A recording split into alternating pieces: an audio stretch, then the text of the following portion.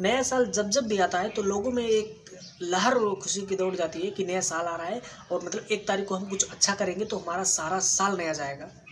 इसी की कहावत में मतलब इसी के एवज में एक कहावत भी है साल बदल रहा है हम नहीं। कर मेरे को मेरे को जानता नहीं है ये। तो कहो भाई लोग कालबा उम्मीद करते थी गोवा आज हम बात करने हैं पावर स्टार पवन सिंह और ट्रेंडिंग स्टार खेसारी यानी दो बिहारी एक पवन तो तुझे खेसारी।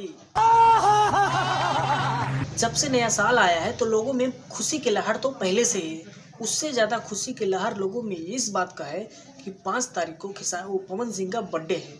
और उससे भी ज़्यादा खुशी की बात ये है कि पाँच तारीख को पवन सिंह का एक सॉन्ग आ रहा है, और वो भी बड़े बजट का, बड़े लेवल का।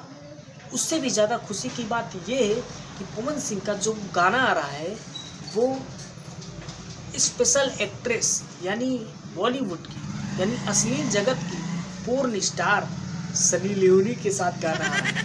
और उससे भी खुशी की बात ये है कि पवन सिंह के बर्थडे पे खेसारी लाल यादव आए थे।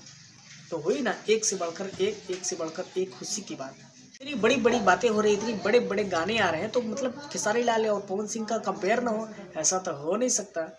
तो कंपेयर हुआ है और किस गाने से, किस गाने का हुआ है। पवन सिंह का जो बर्थडे वाला गाना है, इसका गाना खेसारी लाल यादव को मुर्गा है, असली गाने से कंपेयर हुआ है। और इसमें कौन जीता है और कौन हारा है, दोनों के टक्कर के बारे में हम बताएँगे। लेकिन उससे पहले हम बात करेंगे पवन सिंह और सनी लियोनी के गाने के बारे में।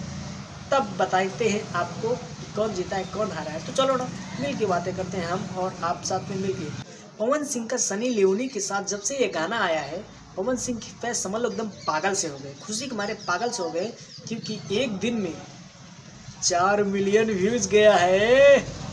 पैसा ही पैसा होगा और इसी के साथ कुछ लोग ऐसे भी हैं जो इस गाने के खिलाफ हैं क्योंकि इसमें पोर्न स्टार सनी लियोनी है।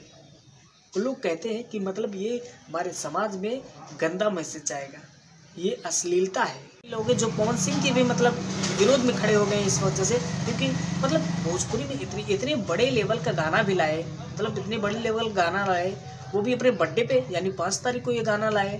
तो मतलब भोजपुरी में बहुत सारे एक्ट्रेस ऐसी थी जो इससे अच्छा कर सकती थी, इससे बढ़िया कर सकती थी, और इससे कम पैसे में कर सकते मतलब तीन करोड़ रुपए ले लिए भैया मतलब सनी लियोनी जी। और मतलब पाँच करोड़ का गाना है, तीन करोड़ सनी लियोनी ले लिए। अब समझ लो, पवन सिंह का लिए होंगे और उसमें लागत बजट जो लगा है वो सब का होगा। पवन सिंह मतलब क्या लिए होंगे इसमें से? मतलब आधे से ज़्यादा तो वही लेके बैठ गई हैं। तो मतलब इतना पैसा खर्च करना टोटल वेस्ट गया, क्योंकि सनी लियोनी तीन करोड़ रुपए ले ली सुनने में आ रहा है। और पवन सिंह को क्या मिला घंटा। मतलब इसी के अगर और कोई लाते गाना तो अच्छा रहता। मतलब भोजपुरी को गंदी नज़र से देखा जाएगा ना, वैसे भी कुछ लोग कह रहे हैं कि पावर स्टार पवन सिंह, यानी ढोल चटना। पहले से ढोड़ी वोड़ी चाटते थे और अब तो उनको महारानी मिल गई है उस जगत की। अब तो Pawan Singh plus Sunny Leone equal to porn two ऐसा कहेंगे अब पवन सिंह को।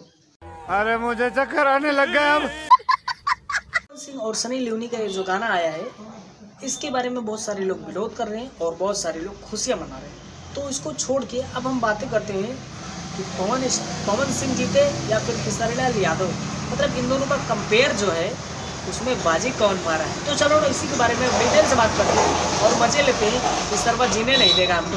कवा धारा नारा सुना सुना की गर्मी की सॉरी बात करें खेसारी लाल यादव के मुर्गा, असली गाने के बारे में तो मतलब वैसे खेसारी लाल यादव के जितने भी गाने आते हैं हाँ ये दो तीन घंटे में आराम से ट्रेंडिंग म्यूज़िक सेक्शन में ट्रेंड करने लगते हैं और तो और एक नंबर पे भी आ जाते हैं।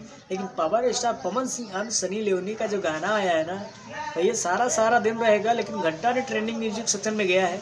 म्यूज़िक सेक्शन में तो अभी भी नहीं गया लेकिन हाँ एक नंबर पर ट्रेंड ज़रूर कर रहा है। और एक दिन में मतलब बाईस घंटे में, चौबीस घंटे में, यानी एक दिन में चार चार मिलियन व्यूज़ आ गया है। इससे बड़ी की बात क्या हो सकती है? लकीर तो खींच दी है ना। लेकिन म्यूज़िक सेक्शन में नहीं जा पाए। क्योंकि वहाँ पे हिस्सा लाल यादव पहले से अड्डा जमा के बैठे थे। एक घट्टा हम इतने समय से बैठे तुम हमको हटाओगे? चलो, दूर हटो यहाँ से। मतलब ट्रेंडिंग में तो गया, एक नंबर पे गया, लेकिन म्यूज़िक सेक्शन में नहीं जा पाए, क्योंकि वहाँ पर खिसारे लाल यादव पहले से ही अड्डा जमा के एक नंबर पे बैठे हैं।